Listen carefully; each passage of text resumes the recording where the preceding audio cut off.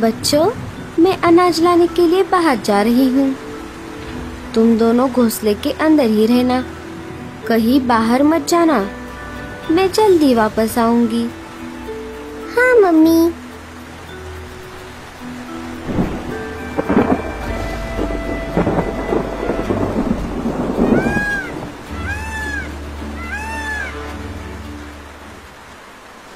थोड़ी दूर आने पर लाडो को एक शिकारी चील शिकार की तलाश में घूमता हुआ दिखाई देता है।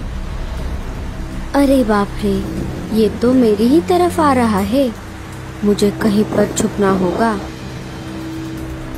लाडो पास वाले एक बड़े से पेड़ के पत्ते के पीछे छुप जाती है। वहाँ पर पहले से ही कालू कौवा और मीनू मौसी छुपे हुए थे। अरे कालू भैया और मीनू मौसी आप यहाँ पर कैसे?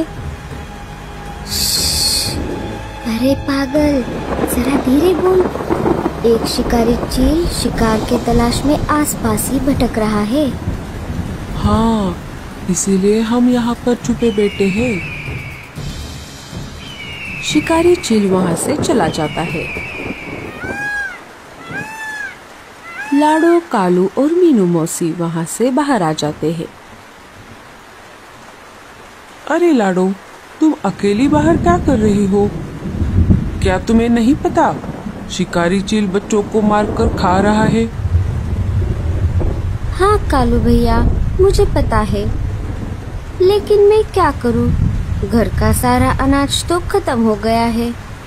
बच्चे भी बहुत भूखे हैं, इसीलिए मुझे इस तेज बारिश में बाहर आना पड़ा। हम दोनों भी अनाज लाने के लिए बाहर आए थे। कालू पश्चिम की तरफ़ और मैं पूरब की तरफ़ गई थी। मुझे थोड़ा अनाज मिल गया, लेकिन कालू को नहीं मिला। क्या तुम्हें अनाज मिल गया, लाडो?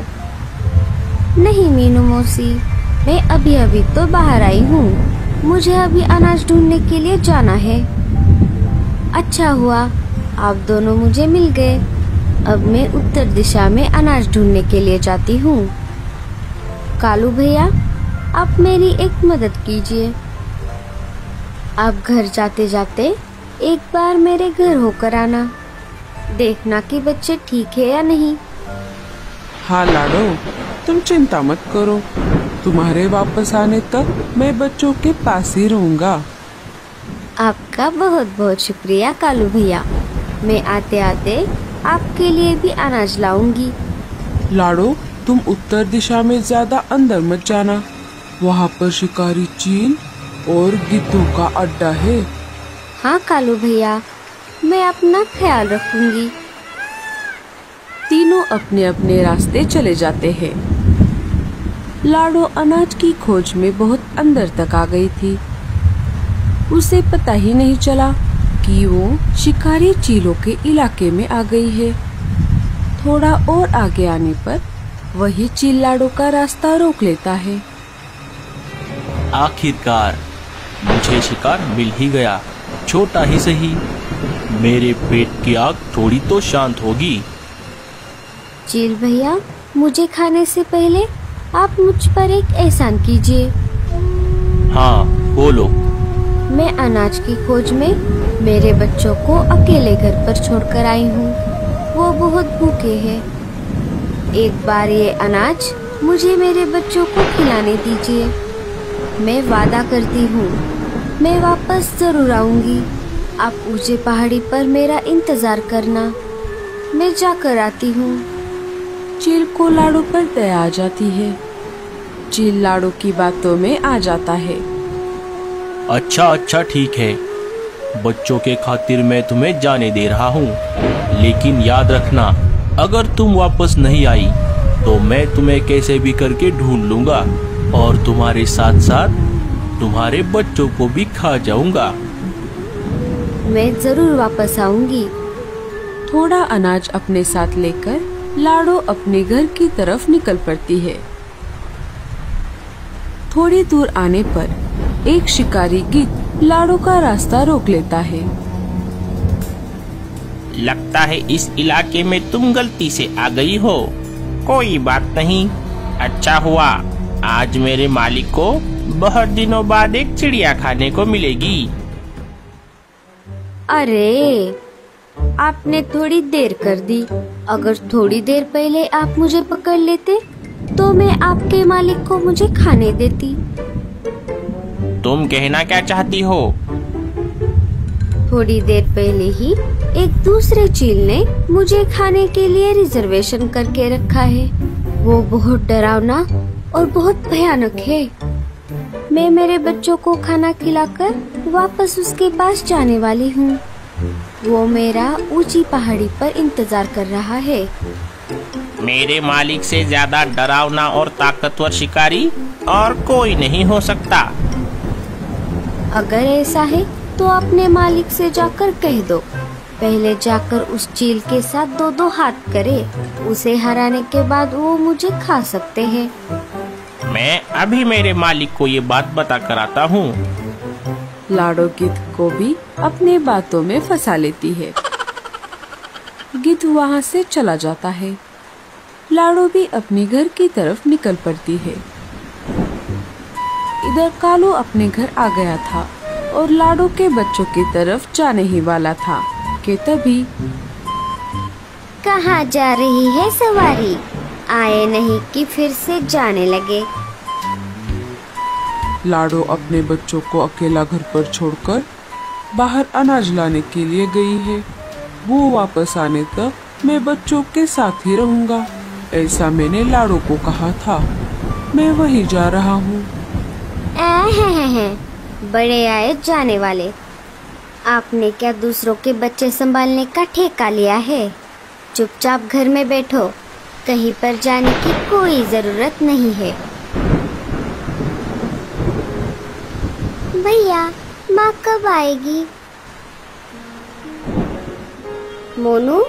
डरो मत माँ आती ही होगी। भैया मुझे बहुत भूख लगी है। बारिश बहुत ज़्यादा तेज थी तभी लाडो के घोंसले में पानी जमा होने लगता है।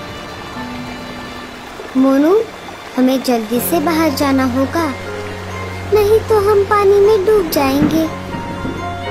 दोनों वहाँ से निकलकर मीनू मौसी के घर आ जाते हैं।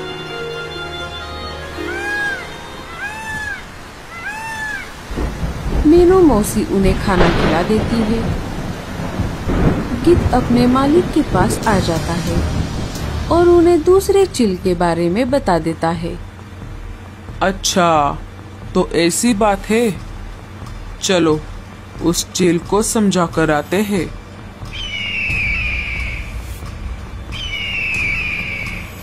अरे तुम दोनों कौन हो? क्यों रे चील के बच्चे खुद को बड़ा ताकतवर समझता है। जरा देखे तो तुझ में कितना दम है। जैसे तैसे करके अपनी जान बचाकर लाडो अपने घोंसले के पास आ जाती है। घोंसले में जमा हुआ पानी देखकर लाडो बहुत डर जाती है। बच्चे भी घोंसले में नहीं थे। लाडो चिड़िया रोने लगती है। तभी वहाँ पर मीनू मौसी आ जाती है। अरे लाडो क्या हुआ? तुम रो क्यों रही हो? लाडो सारी घटना मीनू मौसी को बता देती है। जब मैं घर वापस आई तब देखा कि घोंसले में पानी जमा हुआ है। बच्चे भी घोंसले में नहीं है। पता नहीं मेरे बच्चे कहाँ गए? लाडो, तुम डरो मत। तुम्हारे बच्चे सुरक्षित हैं। वो थोड़ी देर पहले ही मेरे पास आए थे। मैंने उन्हें खाना खिला दिया है और दोनों बच्चे अभी सो रहे हैं। मौसी, मैं आपका ये एहसान कभी नहीं भूलूँगी। आपका बहुत बहुत शुक्रिया। कालू भी अपनी पत्नी से आग बचाकर चुपके से वहाँ पर आ जाता है। मुझे माफ़ कर दो लाडो। गोरी ने मुझे बच्चों के पास नहीं आने दिया। लाडो कालू को भी सारी घटना बता देती है। अब मुझे जाना होगा। आप मेरे बच्चों का ख्याल रखना। अगर मैं वापस नहीं गई तो वो चील मुझे ढूंढते ढूंढते यहाँ पर आ जाएगा और मेरे साथ मेरे बच्चों को भी। लाडो तुम डरो मत। हम राजा जी के पास चलते हैं। वो इसमें हमारी ज़रूर मदद करेंगे। तीनों वहाँ से निकलकर राजा जी के पास चले आते हैं। लाडो तुम चिंता मत करो। हम सब तुम्हारे साथ हैं।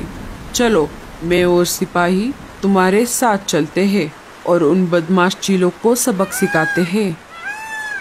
सारे वहाँ से निकलकर ऊँची पहाड़ी पर पहुँच जाते हैं और देखते हैं तो क्या दोनों चिल और गिद्ध आपस में झगड़ा करके जख्मी होकर ज़मीन पर पड़े हुए थे।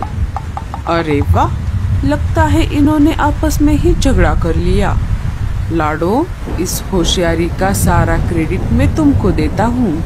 तुमने अपनी होशियारी से इनको आपस में ही लड़वा दिया। सब लाडो की वाह वाह कर रहे थे।